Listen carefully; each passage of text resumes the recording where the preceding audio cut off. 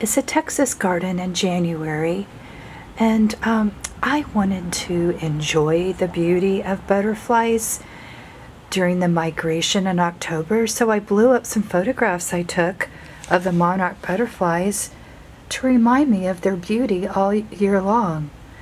the begonias are still blooming.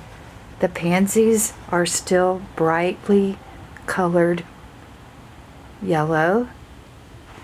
I trimmed the Plum Delight. We've had the Plum Delight for 30 years. I trimmed it um, because it was getting kind of big. And it's kind of a good year to start trimming things because then it comes out in the spring. And uh, I put some pots underneath. And so it's a glorious day in January. Uh, because I'm covering my plants at night, they are still thriving. I still have the fennel.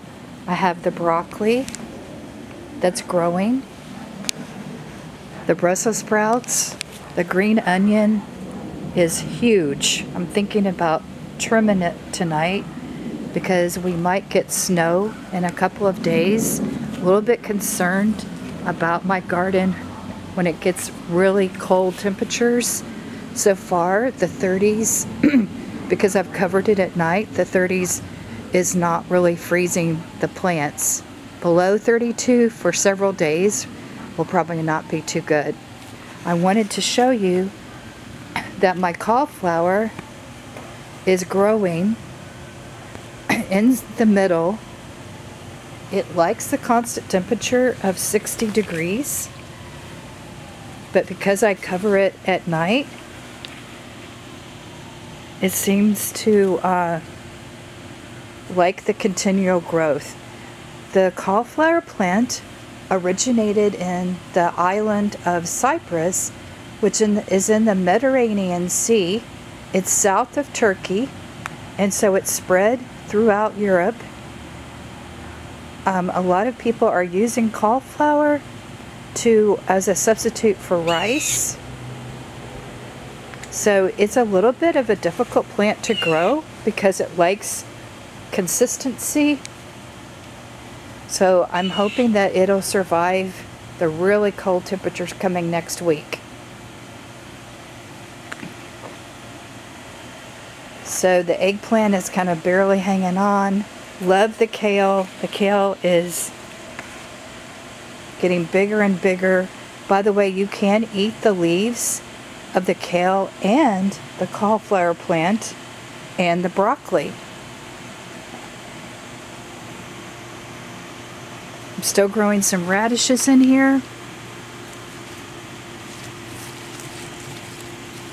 can see the radish right there growing. The leaves of the lettuce are huge. There's the Brussels sprout.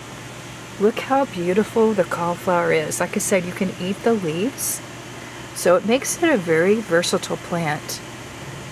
Cauliflower can come in colors of um, orange and kind of a purple color. Surprised the pepper plant is still hanging on. Here's another cauliflower. They seem to be kind of happy right now. I planted some mustard, which goes great in soup. Here's the Brussels sprout plant. I'm amazed that the pepper plant back here, the bell pepper has a bell pepper. Can't believe this is happening in January. There's another one over here.